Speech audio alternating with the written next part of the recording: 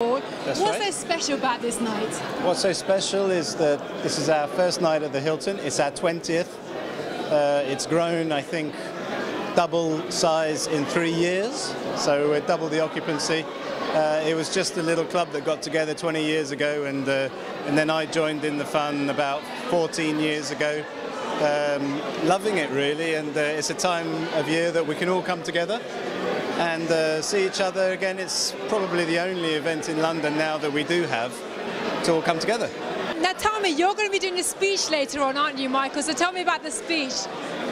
Well, the speech is about Odyssey, it's about its vision, where we come from, where we want to go, and to make a difference, building a greater future for our children. Now there's people here from all over the world. Tell me some of the places people have flown in from tonight. Well, they've come from uh, various angles, really, uh, and directions and places. Uh, Asia, Singapore, really, uh, all across Europe. One on our table tonight is come from Greece to do a speech on the Antikythera mechanism. Um, Hong Kong, Korea, Japan. Good mix then by sounds of it. Pretty much what I can remember, really. Yeah. Well, thank you very much, Michael. Have a wonderful evening and we'll see you later. Good luck with your speech. Thank you very much, Riffi. Thank you.